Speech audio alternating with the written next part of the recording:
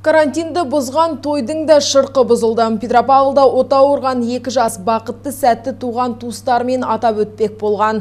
Отбасылық іс-шара үшін ғашықтар табиғат аясындағы Грин паркты таңдапты. Бұл мереке туралы қала тұрғындарының бірінен ситуациялық орталыққа сағат 15.54-те хабар келіп түскен. Ақпардың шынайылығын тексеру үшін жедел әрекет ету тобы демалыс орнына аттанған. Прокурор, полиция қызметкерлер мен санитар дәрігерлер 36 адамға арналған алған тойдың үстінен түсіпті.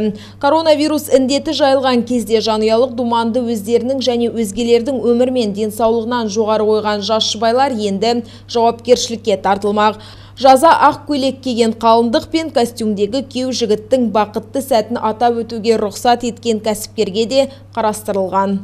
По данному факту той өткізген отбасы еліміздің бас санитар дәрігерімен бекітілген карантин талаптарын бұзды. Шектеу шаралары күшейтілгелі отбасылық той думандарды өткізуге тыйым салынғаны баршаға мәлім. Бірақ жас жұбайлармен демалыс орнының иесі ережені елемеді. Аталған факты бойынша барлық материалдар жиналып, қалалық тауарлармен көрсетілетін қызметтердің сапасы мен қауіпсіздігін бақылау басқармасына жолданды. Отбасыға да, бизнесменге де әкімшілік жаза қарастырылған.